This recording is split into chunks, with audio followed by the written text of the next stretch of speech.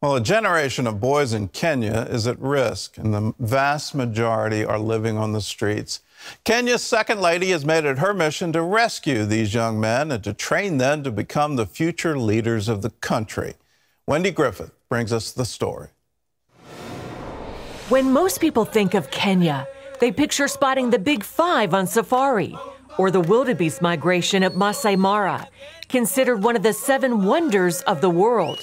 For those who live there, it's a different story. That includes the country's second lady, Pastor Dorcas Rigathi. Her main goal, trying to rescue the thousands of young boys who have left the rural areas to find work in the cities, but end up on the streets.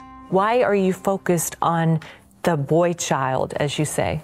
Currently, we have a crisis in Kenya where young men are in the streets taking drugs, taking alcohol, and they are dying in numbers.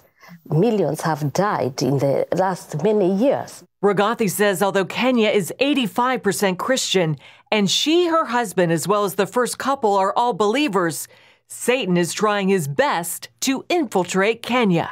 Any time Satan wanted to destroy a nation, he went for the boy child. We may not look at it and see it as a satanic move, but it is there is no way we can have the seed carrier in the gutter.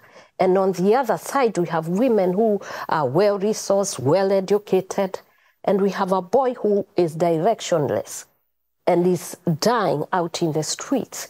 Why are they in the streets?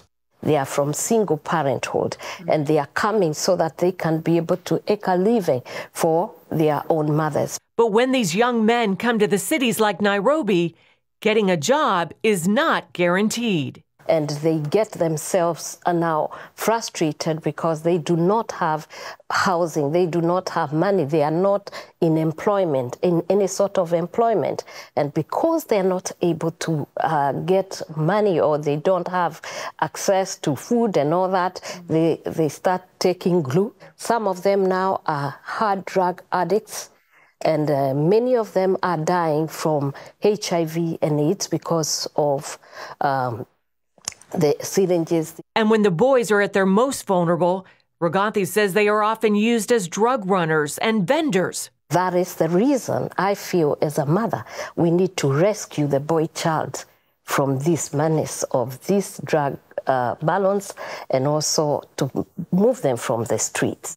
Rigathi's dream is the creation of a multifaceted program that would provide these boys a medical rehab facility with Christian counseling, a vocational training center to teach different skills, and a sports academy.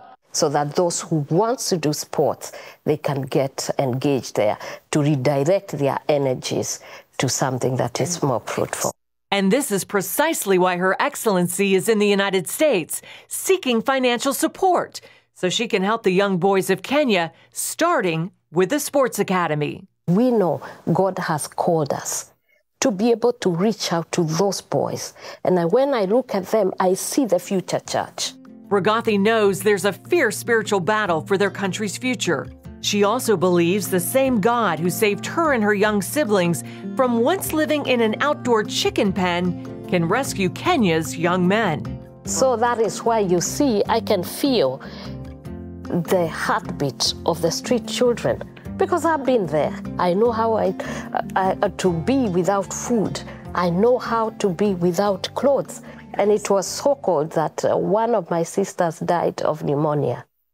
My mother prayed for us. My mother spoke words of power, authority over us. So she told us, don't worry. When your father is not there and you are children of the widow, your Father in heaven will see you through.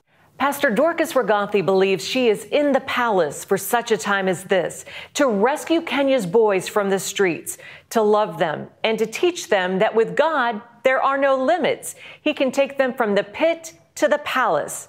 And she has her own story to prove it. Wendy Griffith, CBN News. It's wonderful and it's scriptural. God comes, He takes people from the ash heap, from the trash heap, and He sits them among princes.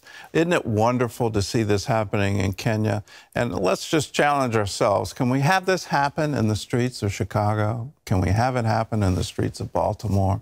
Can we have it in the streets of your hometown? That you say, okay, let's go out there. Let's let's be mentors. Let's have good things for these young men to do so that our country's future is secure and secure in God. Take them from that ash heap. Let's have this be our prayer. Take them from that ash heap. Set them among princes. We can have this happen if we just say, this isn't somebody else's job.